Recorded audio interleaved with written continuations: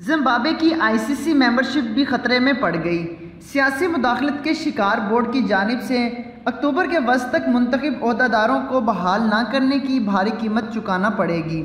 تفصیلات کے مطابق انٹرنیشنل کرکٹ کونسل کی جانب سے زمبابوے کو گزشتہ ہفتے لندن میں ہونے والی میٹنگ کے نتائج سے آگاہ کرتے ہوئے کہا گیا ہے کہ وہ غیر مشروط طور پر جون میں منتخب ہونے والے عہدیداران کو بحال کریں یا پھر اپنی ممبرشپ کی منسوخی کے لیے تیار رہے تو اب مکمل تفصیل سے بات کرتے ہیں۔ تو ویڈیو سٹارٹ کرنے سے پہلے میری آپ سبھی لوگوں سے چھوٹی سی ریکویسٹ ہے کہ چینل پر نیو ہو تو اسے سبسکرائب کیجیے گا اور ساتھ ہی نوٹیفکیشن بیل پہ کلک کیجیے گا تاکہ میری ہر آنے والی لیٹسٹ ویڈیو آپ تک بآسانی پہنچ سکے۔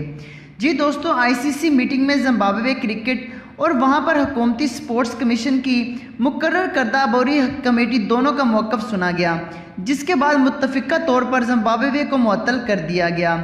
اب آئی سی سی کے چیف ایگزیکٹو مانو ساہنی کی جانب سے بھیجے گئے باضابطہ خط میں زمبابوے پر واضح کیا گیا کہ اگر وہ چاہتے ہیں کہ معطلی پر آئی سی سی کی جانب سے نظر ثانی ہو، تو پھر تمام متعلقہ اقدامات اٹھانا ہوں گے۔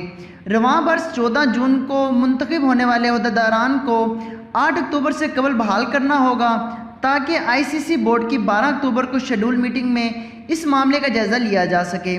اس کے ساتھ یہ شواہد بھی پیش کرنا ہوں گے کہ اب کرکٹ معاملات میں حکومت کی جانب سے کوئی مداخلت نہیں ہوگی۔